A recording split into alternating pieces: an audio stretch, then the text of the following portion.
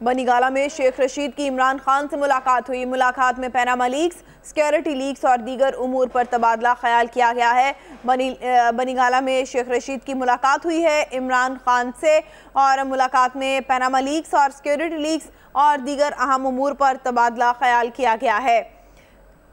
इस बारे में बात करते हैं ट्वेंटी फोर न्यूज़ के नुमाइंदे अवैस क्यानी से। अवैस, बताइएगा, किन उमूर पर बातचीत हुई बनीगाला में शेख रशीद और इमरान खान के दरमियान?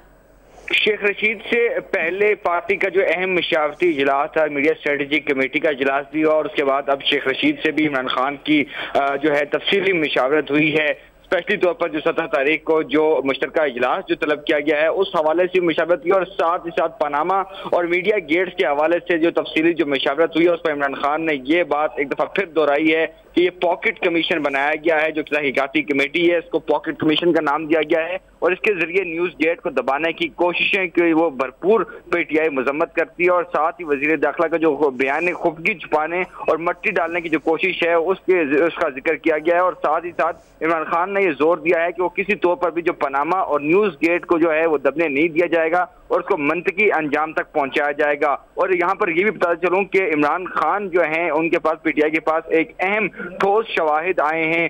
पनामा लीग्स के हवाले से। और आइंदा 24 घंटों में इम्कान यही ज़ाहिर किया जा रहा है कि आज या कल इमरान खान वो अहम सबूत, नवाज़ खानदान के हवाले से जो है वो खुद मीडिया के सामने लाएँगे। एक अहम प्रेस कॉन्फ्रेंस बुलाई बुलाई जाएगी, जिसमें इमरान खान वो सबूत आवाम के सामने रखेंगे और मीडिया के सामने वो सबूत लाएँगे। कहा यही जा रहा है पार्टी जराये के मुताबिक कि पनामा लीग के हवाले से जो ठोस सबूत जो है वो शरीफ खानदान के हवाले से पीटीआई के पास आए हैं और इमरान खान ने आज जो मशावती जो पार्टी का जो मशावती इजलास हुआ है जिसमें असद उमर जो दीगर जो कैदीन जो शामिल थे उनके सामने वो डिस्कस हुए हैं वीडियो क्लिप्स दिखाए गए हैं और अब इमरान खान ने यह फैसला किया है कि आवाम के सामने ये चीज़ जो शुक्रिया अवैस क्या